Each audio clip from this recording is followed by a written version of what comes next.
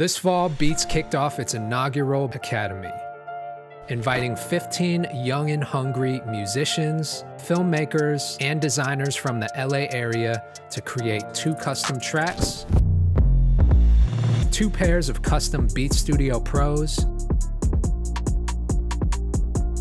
and to create two films tailored to college athletes Kiki Rice and Isaiah Collier.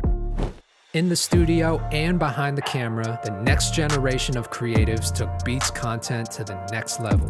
This is the 2023 Beats Academy.